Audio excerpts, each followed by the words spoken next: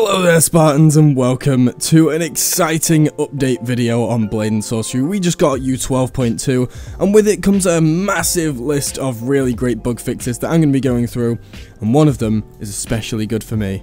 So let's just jump straight into the first one which is a really important one and that is Index finally can swim. Let's go test this out. So we're going to jump down into the ocean here. And let's just try... Oh, I feel like I'm struggling a little bit. But index players can indeed swim now, which is really good. Like it's kind of working. Now I'm not having the best time, but it's working better than it did before, which is important. We can swim, it's very tiring, but it's very fun, and I love it. And you know what? it doesn't feel all that bad. It's definitely not as good as the, the quest swimming, definitely not. It just doesn't feel like there's as much force behind it as there should be. But, it's definitely better. So, with that being said, let's go and check out ugh, the other bug fixes. So our first bug fix is something in Nomad, so for you Nomad players, they have fixed the home mirror black artifacts, so that's a really good little thing. It's just a visual bug that is nice that they've fixed. Now, another thing that's been, been fixed for everyone is the fact that player eyes, the way they follow now, is now fixed so it works in the mirror, so we can go check that out now. And it looks like, yes, the player eyes are now following properly in the mirror. That's awesome. Our next bug fix is the fact that bHaptics now loads its plugin properly. That's great. That's just something, if people have invested that kind of money into bHaptics, then you're really going to want it to work, so that's awesome. Another bug's been fixed where the original item isn't despawning after the item breaks on a breakable.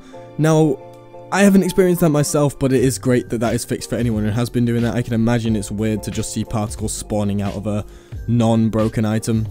I assure that is just strange. So, that's another great fix. So they've also fixed an issue where the player's inventory, the one that you open up from your chest, is now saving when you go to the home. It wasn't saving before, but now it is, which is awesome. So now we can store things while we're away, come back here, and they'll be safe for next time. There's an issue that's been fixed where broken mod asset bundles were causing the, the game to just freeze and loading.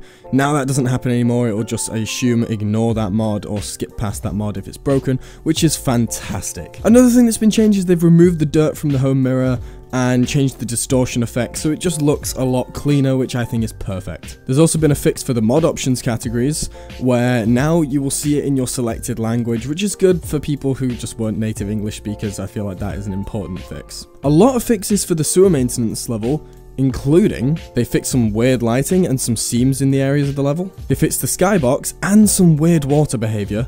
I haven't seen that, but I'm sure there is some. They fixed clipping issues with the male mercenary gloves, which is fantastic because I do love those gloves a lot. And finally, they fixed long mod options menus overlapping with other parts of the menu, which is really important to just have that smooth menu layout. And that is all the bug fixes. So if you guys enjoyed the video, don't forget to leave a like, comment, subscribe, ring the bell, all that good stuff. And if you've experienced any bugs after this update, go to the Blade and Sorcery Discord and leave a bug report. The developers always appreciate that stuff. Anyway guys, thanks so much for watching and I will see you guys later. In a bit.